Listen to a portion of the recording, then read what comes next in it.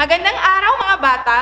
Narito muli ang inyong guro sa Edukasyong Pantahanan at Pangkabuhayan, Gawaing Pang-Agrikultura, si Teacher Vicky.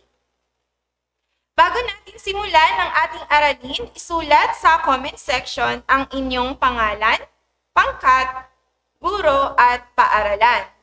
Ihanda na rin ang supplementary learning modules, LEM, ballpen at papel.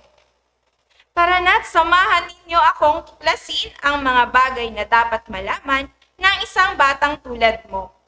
Handa na ba kayo?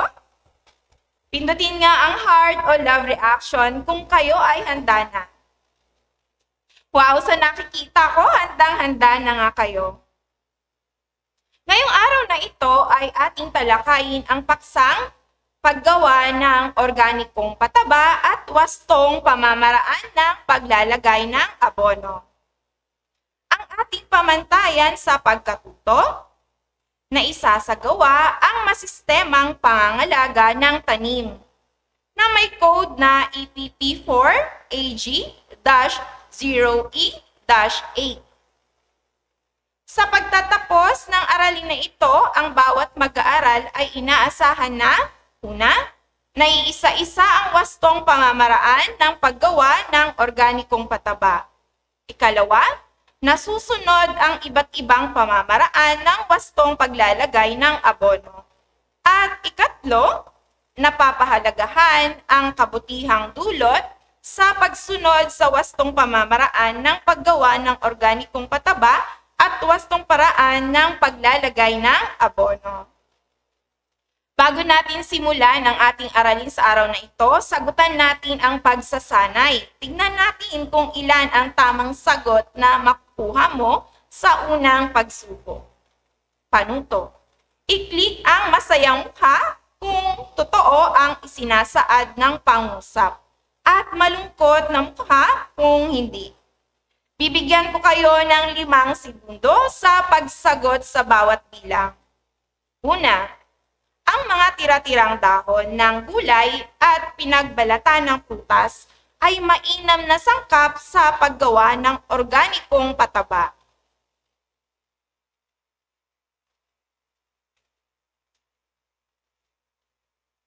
Ang tamang sagot ay masayang mukha. Ikalawa, ang paggamit ng organikong pataba sa ating pananim ay ligtas sa ating kalsugan.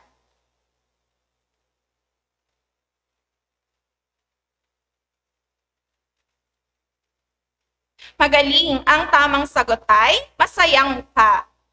Ikatlo, kinakailangan ang compost pit kung tayo ay gagawa ng organikong pataba.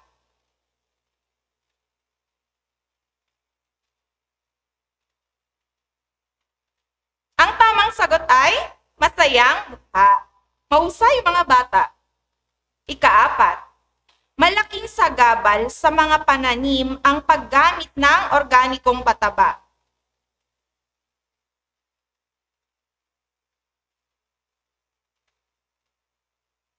Tumpak, ang tamang sagot ay malungkot na mukha.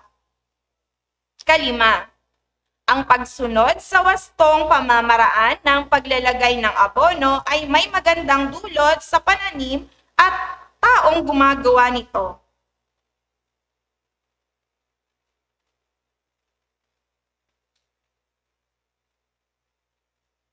Ang tamang sagot ay masayang mukha.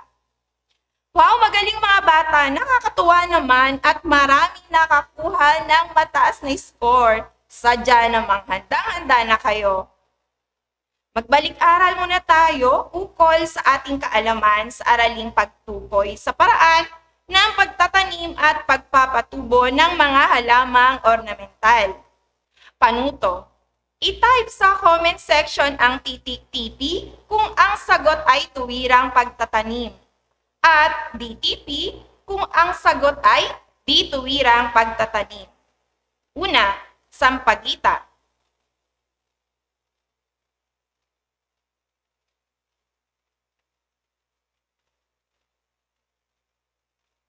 Mahusay ang tamang sagot ay TP o tuwirang pagtatanim.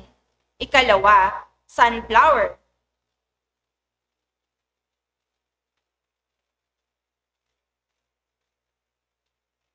Tama, ang tamang sagot ay TP o tuwirang pagtatanim. Magaling mga bata.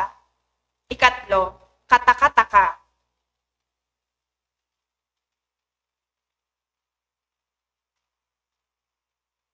At ang tamang sagot ay DTP o di tuwirang pagtatanim. Ikaapat, cosmos.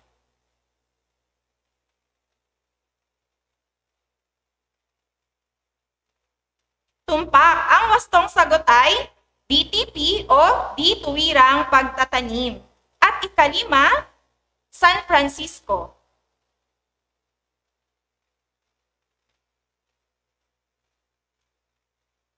Magaling ang tamang sagot ay TP o tuwirang pagtatanim. Batid ko na nakuha ninyo ang lahat ng tamang sagot, kaya't binabati ko kayo. Kayo ba ay may mga alagang halaman sa bahay? Anong pamamaraan ang inyong ginagawa upang tumubo ng maayos at malusog ang inyong mga halaman? Pakitype nga ang inyong sagot sa comment section.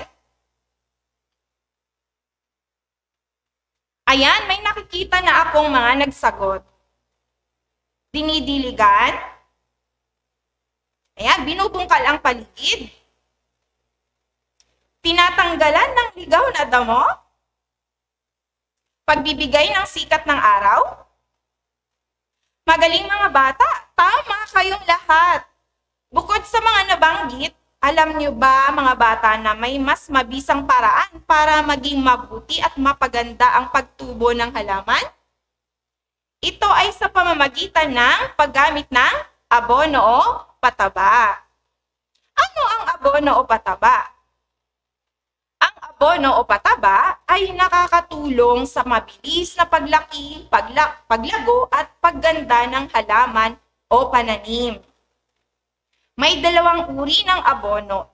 Ito ang organiko at di-organikong pataba. Ano ang pinagkaiba ng dalawa? Ang organikong pataba ay nakukuha sa paggawa ng kompos ng mga nabubulok na bagay tulad ng dumi ng hayop, mga balat ng prutas, damo at iba pa.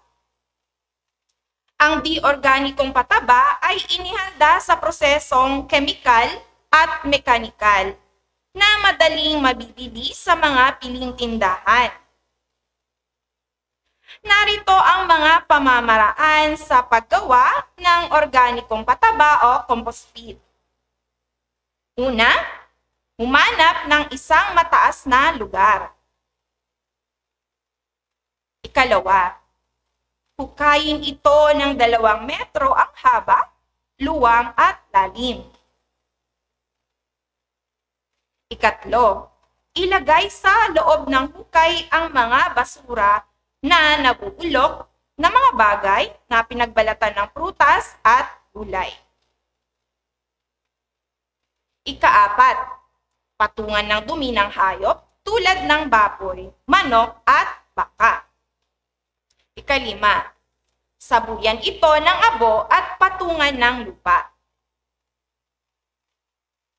Ikaanim, Ulitin ang ganitong pagkakasunod-sunod hanggang sa mapuno ang hukay.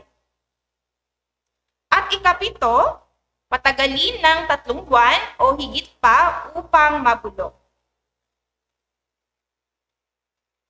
May iba't ibang paraan ng paglalagay ng abono o pataba sa lupa at halaman.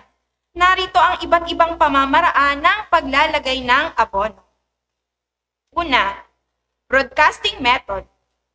Ang pataba ay ikinakalat sa ibabaw ng lupa. Kadalasang ang ginagawa, kadalasang ginagawa ito sa mga palayan at maisan. Ikalawa, side dressing method. Ang pataba ay ilalagay sa lupa na hindi gaanong malapit sa halaman sa pamamagitan ng isang kagamitang nakalaan para rito. Ikatlo, foliar application method. Ginagawa sa pamamagitan ng pagdidilig o pag spray ng solusyong abono sa mga dahon ng halaman. Ikalima, ring method o paraang pabilog. paglalagay ng abono sa paligid ng tanim na may layong kalahati hanggang isang pulgada mula sa puno ng tanim. Ikalima, basal application method. Paglalagay ng abono sa pamamagitan ng paghahalo ng pataba sa lupa bago itanim ang halaman. Batid ko na marami ka nang natutuhan sa oras na ito. Dumako na tayo sa unang gawain. Panuto. Ang mga sumusunod ay mga paraan ng paggawa ng compost peel. Lagyan ng bilang una hanggang anim ayon sa pagkakasunod-sunod ng mga hakbang sa paggawa ng compost peel. I-type sa comment section ang inyong mga sagot. Bibigyan ko kayo ng isang minuto sa pagsagot.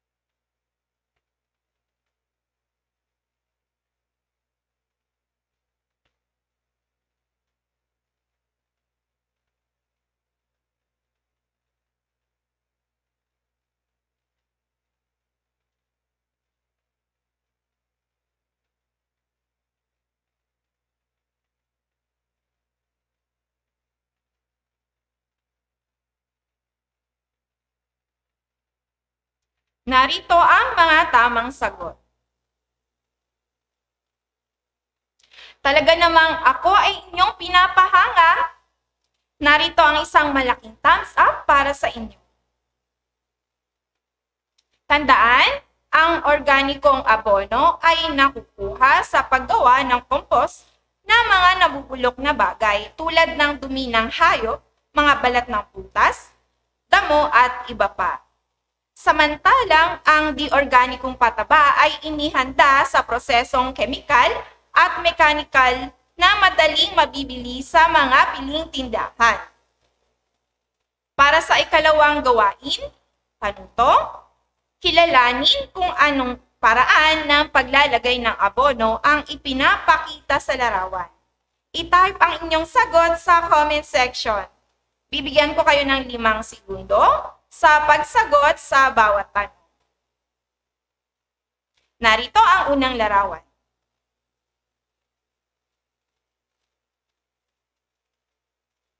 Ang tamang sagot ay broadcasting method. Narito ang ikalawang larawan.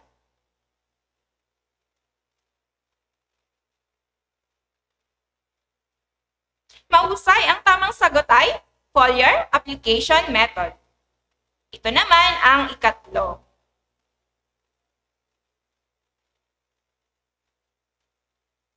Magaling, ang tamang sagot ay side dressing method.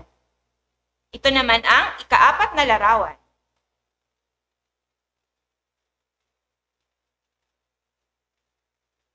Ang tamang sagot ay ring method. At narito ang panghuling larawan.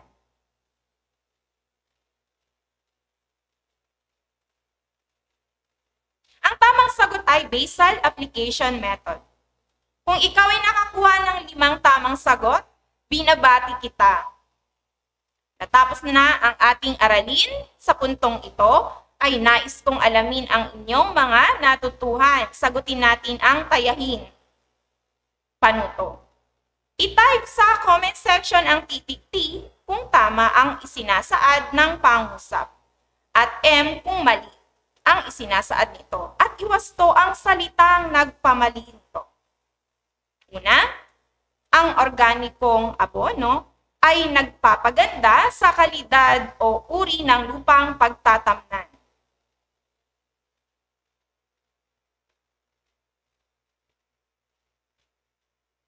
Ang sagot ay T. Tama. Mahusay. Ikalawa, may dalawang uri ng abono, ang organiko at di-organikong pataba.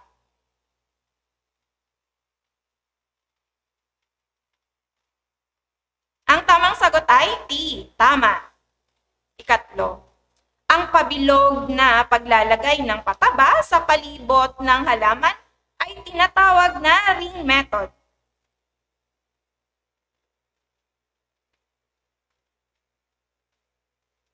Magaling, ang tamang sagot ay T. Tama.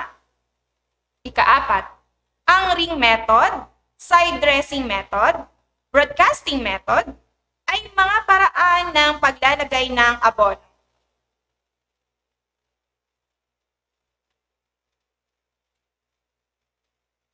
Tumpa, ang tamang sagot ay T. Tama. At ikalima, ang pagsasaboy ng abo at pagpapatong ng lupa sa compost pit ay di nakakatulong sa paggawa ng organikong pataba.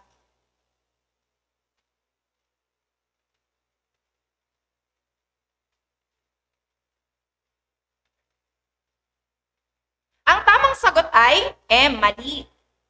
Para maiwas to ang nagpamali sa salita, ang pagsasaboy ng abo at pagpatong ng lupa sa compost pit ay nakatutulong sa paggawa ng organikong pataba.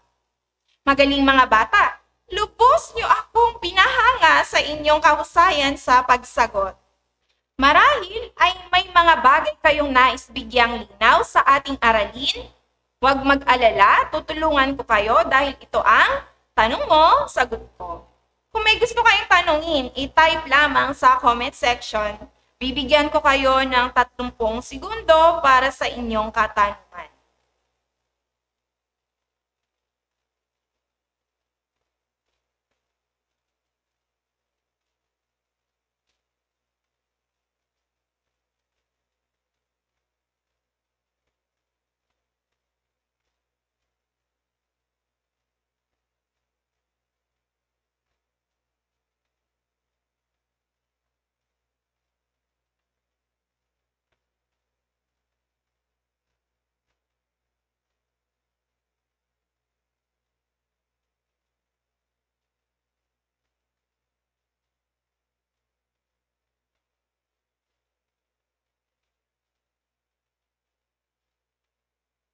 Hayan!